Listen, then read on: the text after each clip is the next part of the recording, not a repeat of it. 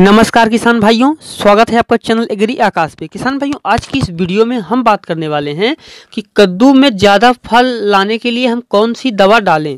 और वीडियो के आखिर में हम ये भी जानेंगे, कुछ किसान भाइयों का क्वेश्चन होता है कि फल खराब हो जाते हैं। जैसे आप स्क्रीन पर देख रहे हैं कि फल खराब हो जाते हैं, जो छोटा सा उसका फल बनना शुरू होता है, तभी उस पर फल मक्खी अटैक कर देती है। ये क्यों होता है? और कुछ कुछ पौधों में फल बिल्कुल ही नहीं लगते। वो भी मैं बताऊँगा कि क्यों नहीं लगते। और आप ऐसा क्या कर सकते हैं कि आपके पौधे पे वापस से फल लगने जाएँ। तो वीडियो को आप पूरा देखिएगा। चैनल पे पहली बार आए हैं तो सब्सक्राइब कीजिएगा, क्योंकि खेती बाड़ी से जुड़ी हुई ऐसी उपयोगी जानकारी मैं आपके लिए लाता रहता हूँ। चलिए शुरू करते हैं। किसान भाइयों, जब हमारा जो कद्दू है, उसमें फूल आने शुरू हो रहे हों तब हमें उसमें ऐसी कौन सी खाद डालनी चाहिए? किसान भैया जब हमारा जो पौधा है, फूल आने शुरू हो रहे होते हैं तो उस समय पौधे को विकास की काफ़ी ज़्यादा ज़रूरत होती है। किसान भाइयों, होता क्या है कि जो लता वर्गीय फ़सल होती है, जैसे कद्दू है, कद्दू वर्गीय फ़सल है तो ये लताओं, इसके जो पौधे होते हैं, ये लता होती है। इस लता को विकास करने के लिए बहुत सारी खाद की ज़रूरत होती है। इसमें तीन मुख्य चीज़ होती है। पहली होती है नाइट्रोजन, दूसरा होता है फास्फोरस और तीसरा होता है पोटेशियम। किसान भाइयों, इन तीनों तत्वों की पूर्ति हमें करनी चाहिए। और कुछ किसान भाई गलती क्या करते हैं कि केवल डीएपी डाल देते हैं। कुछ लोग हैं, केवल यूरिया डाल देते हैं। तो अगर आप केवल डीएपी डालते हैं तो आप केवल फास्फोरस की कमी पूरी करते हैं। लेकिन आप पोटास नहीं डालते, क्योंकि पोटास आप बुआई के समय डालते हैं, फल आते समय नहीं डालते। फल आते समय डालना बहुत ही ज़रूरी होता है।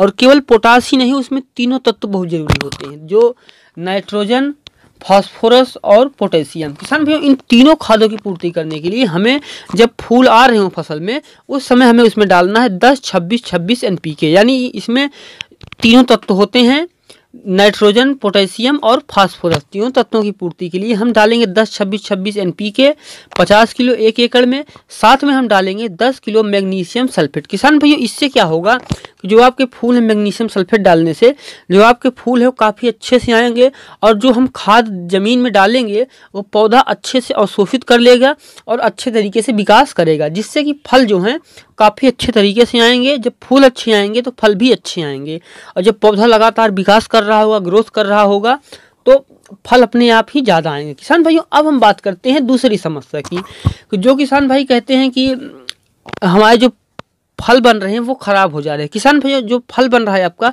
ख़राब हो जा रहा है, उसके लिए मुख्य रूप से जो जिम्मेदार होता है, वो होता है फल मक्खी। तो फल मक्खी का अगर आप नियंत्रण करना चाहते हैं तो आपको नीचे डिस्क्रिप्शन में जाइए। डिस्क्रिप्शन में आप जाकर के प्लेलिस्ट पे क्लिक कीजिए। वहाँ आपको फल मक्खी नियंत्रण के बारे में संपूर्ण वीडियो मिल जाएगा। उसमें संपूर्ण जानकारी हुई उस वीडियो में। आप उस वीडियो को देख लीजिए।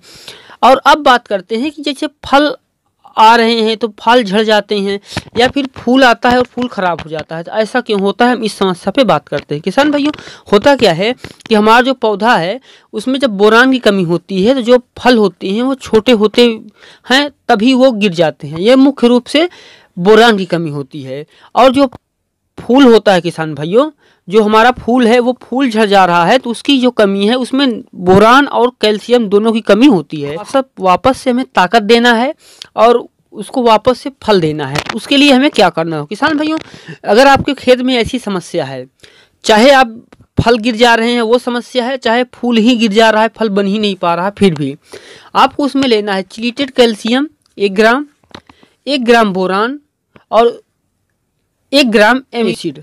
इन तीनों तत्वों को आपको एक एक ग्राम लेकर के, इसको आपको लेना है तीनों को एक एक ग्राम, और उसके बाद आप उसको एक लीटर पानी में घोल लीजिए।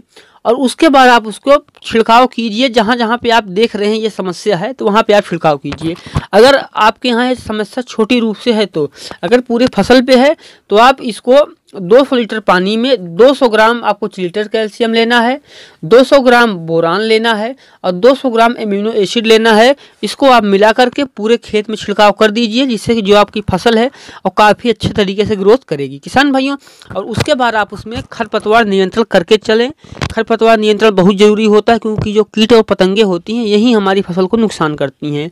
आप नियमित सिंचाई करें और उस साथ ही खरपतवार नियंत्रण करके चलें और वापस से फ़सल को खड़ा होने में थोड़ा टाइम लगेगा। उसके लिए आपको उसमें दस, छब्बीस छब्बीस एन पी के पचास किलो और दस किलो मैग्नीशियम सल्फेट आप डालें, जिससे कि जो आपका पौधा है वो रिकवर कर जाएगा, फिर से फूल आएँगे और अच्छे फल बनेंगे। किसान भाइयों, उम्मीद करता हूँ ये वीडियो आपको अच्छा लगा होगा।